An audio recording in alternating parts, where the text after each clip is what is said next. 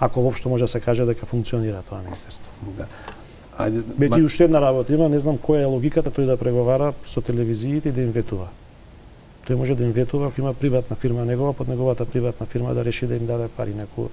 Телевизиите треба да си преговараат со огласувачите или со операторите на јавни комуникацијски мрежи да си го регулираат меѓусебниот однос. Е, тука Владата апсолутно нема никакво законско право да се вклучува во тој Бидејќи процес. ги спомнавте. Силам, после тој состанок кога бев поканет пред три недели кај Дамјан Манчевски, јас го напуштив состанокот, веќе почна да се зборат пари, евра, милиони. Ќе го зборувате за промената на законот у Да, последниот последниот, ден да. на парламентот. Така, на Да парламентот. прецизираме за нашите гледачи да знаат за што На тој зборуваме. состанок кога бев таму, кога слушнав какви цифри се делат, кој ветил како ќе се делат, јас го напуштив состанокот. Се